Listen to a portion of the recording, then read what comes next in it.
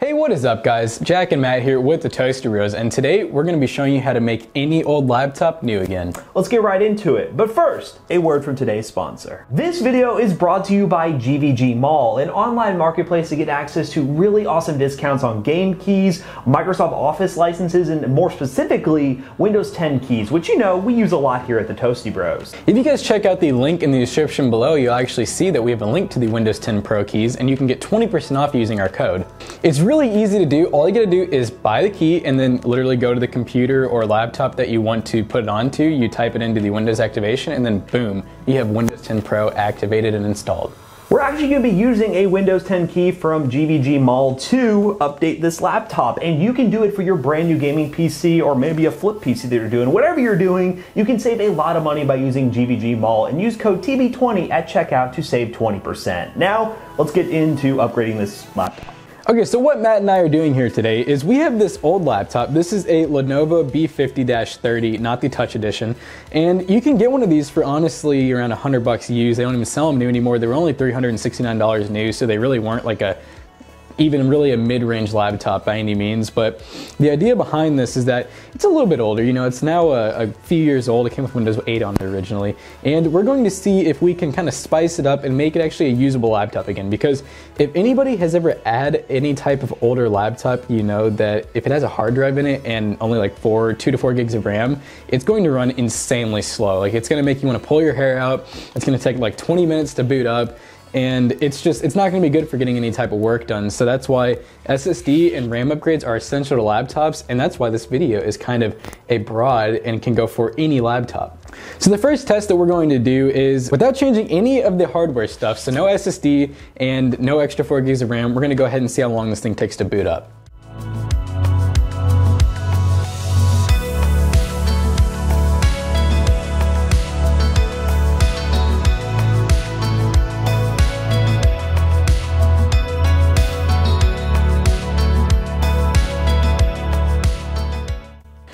So as you guys saw, it took a minute and two seconds, which is actually, you know, that's somewhat impressive for a hard drive because they usually take even longer on laptops that are a little bit older like this. So what we're gonna go ahead and do is just hold this power button here down.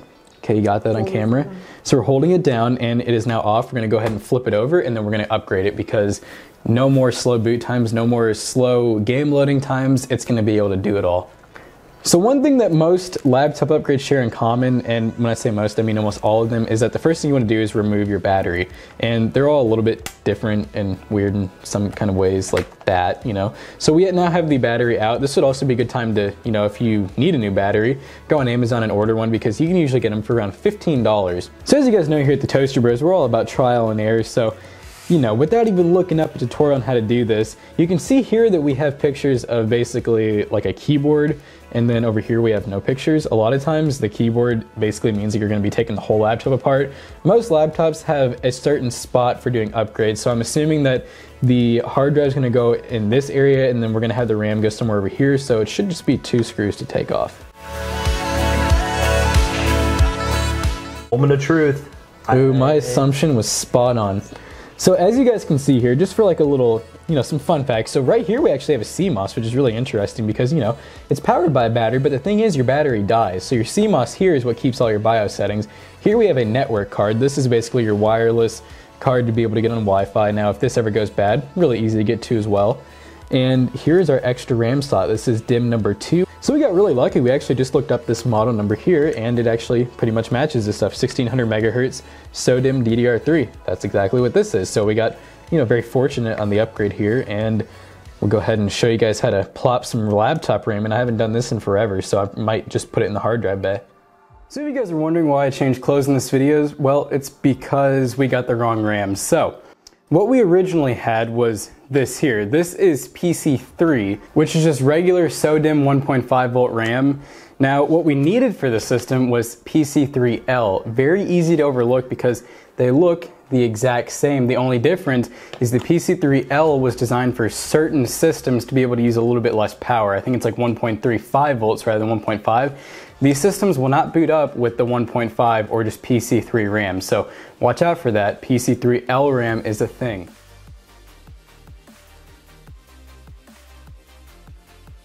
So as you guys can see here, I can already tell we have a two and a half inch laptop drive. So as you guys can see, when picking out a laptop drive, basically this is just a, this is a complete standard. There's really two main standards now.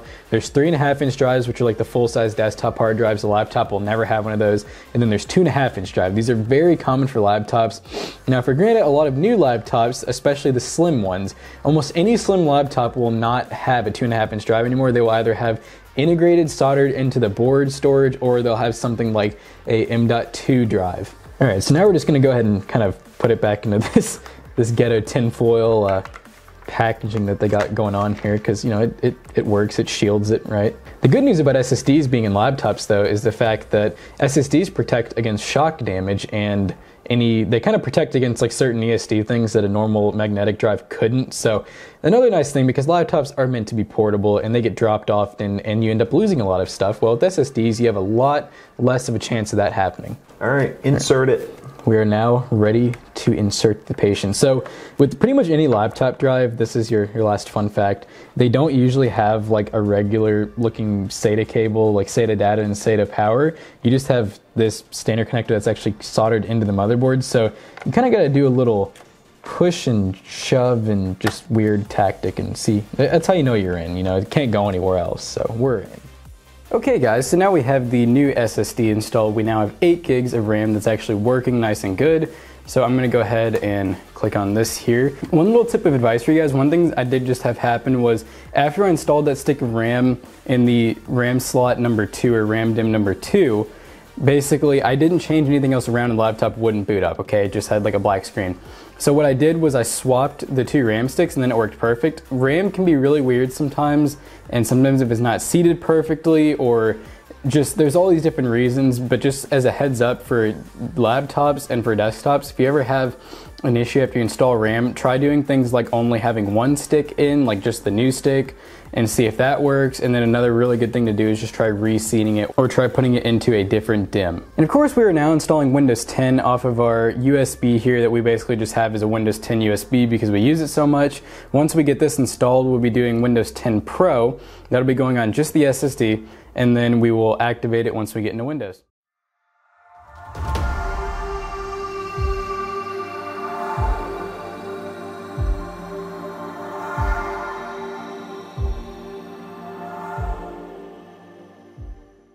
So as you guys can see, I actually forgot to stop it and it was like a couple seconds late, but it took around 35 seconds from when I pressed the power button for the laptop being completely shut off to get into Windows all the way. So that's a much better time. We actually cut out about half the time that the hard drive normally take. I was actually even surprised the hard drive only took like a minute and uh, two seconds or whatever it took. Normally they take even longer, but that's also because it was a fresh install of when we were launching it. As soon as you get anything onto those hard drives, any type of bloatware or anything, you're pretty much screwed. You're gonna be looking at like a anywhere from two to five minutes with most laptops to boot that are a little bit older like this. And also, as you guys can see, if you go to your task manager, really easy way to see if your RAM and everything is working as it should. We now have our 8 gigs installed. Of course, it won't show up as 8 gigs. It's going to show up as a little bit less.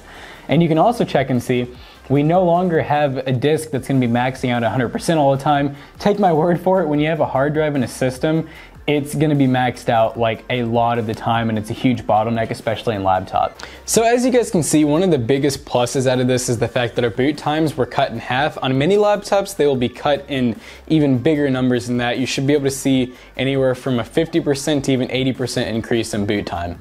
Not to mention doing simple things like internet browsing, Photoshop, and just really kind of small applications work really well on things like this because now we have an SSD so the programs launch like 20 times quicker. And then the fact that we have extra RAM helps to where we can actually have multitasking going on like listening to music while using Photoshop or you know, things that you would be doing as a college student or high school student needing just a really decent but cheap laptop. You can pick something up like this for probably under $100 and then upgrade it for also under $100 to make it about the equivalent of a, I would say, a modern three to $400 laptop. And as I said at the start of this video, this upgrade can be done to almost any laptop. It's a really common thing. So almost all laptops will usually have two RAM slots. Sometimes they have four, but that's usually on higher end ones. And usually only one slot's taken up. The thing is, on most systems, you want to have dual channel, which means you need two sticks. So that's one thing is they leave that one DIMM open, so then you can go ahead and get another stick of RAM, or even two different ones if you're able to, let's say you have one 4 gig, you're not going to put an 8 gig in typically. So you might end up getting two 8 gigs to go to 16 if your system allows allows it. And then of course for storage, they almost always have a way to upgrade. In our case, we had a SATA drive, so we were able to put just a 2.5 inch SATA SSD.